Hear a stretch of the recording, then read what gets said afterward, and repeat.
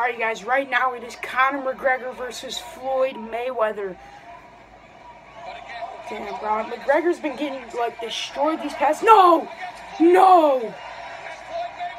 Get your hands up, Conor! Get your hands up! No! No! What? No! They just called the... How are they about to call that fight? How...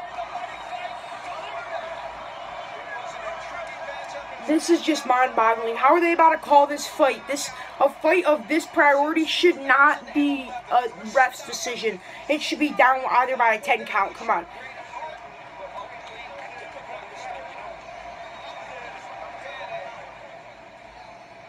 How are you about to end the fight like that? How, are you about to not end the? Conor would have gotten back up. Conor would have gotten back up. There's no questioning that. After this Conor, if he wants to stay in boxing, if he wants to stay in boxing, he's going to do really good because he's the closest person that ever came to knocking out Floyd Mayweather.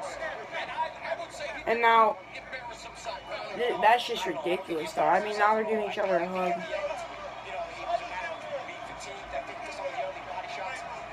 That's just ridiculous, bruh.